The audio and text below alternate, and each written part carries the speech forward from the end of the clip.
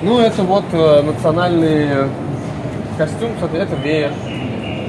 Таким образом его крутишь, и он э, обдувает. Мгм. Это нагрудники. Они имеют свой смысл в том, что а, количество нагрудников и металл, из которого они созданы, а, говорит о том, что вот, допустим, чем больше этих нагрудников у девушки, тем и из какого металла они сделаны, Мгм. говорит, что девушка из более такой вот э, семьи, как сказать,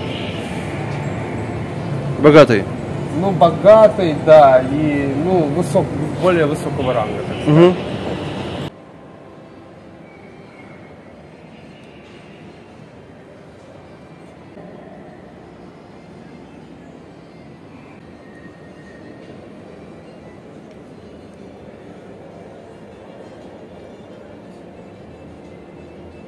Соответственно, а, пояс, мешочек для всяких э, м, шапка для того, чтобы девушка во время свадьбы выделялась из всех.